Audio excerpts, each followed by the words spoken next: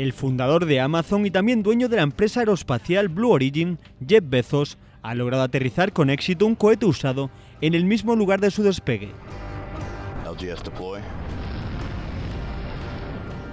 El propio empresario ha informado de este logro en su cuenta de Twitter, en donde señala que el lanzamiento y el regreso se ha realizado en el desierto de Texas. La más rara de las bestias, un cohete usado. El aterrizaje controlado no es fácil, pero si se hace bien puede parecerlo.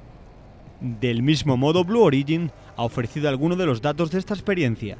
El aparato llamado New Shepard ha alcanzado 101 kilómetros de altura antes de iniciar el camino de vuelta. Según apuntado, también se ha registrado un único daño en el cohete, el metal de su base. De este modo, Blue Origin se pone al frente de las compañías aeroespaciales ahora en auge, como SpaceX o Virgin Galactic, que tratan de innovar en el sector. De hecho, SpaceX ya ha intentado el aterrizaje de un cohete lanzado, aunque en su caso en una plataforma sobre el océano, en más de una ocasión sin éxito.